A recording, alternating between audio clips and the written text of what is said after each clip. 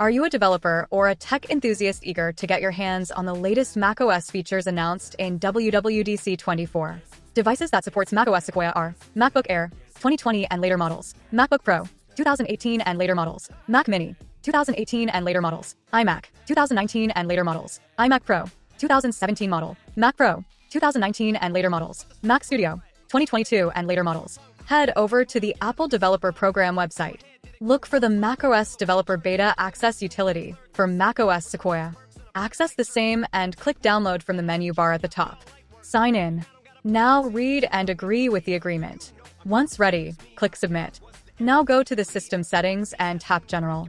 Locate the Software Update section. Click the small I icon next to Software Update. Select macOS Sequoia Developer Beta. Select Upgrade now. Tap Agree.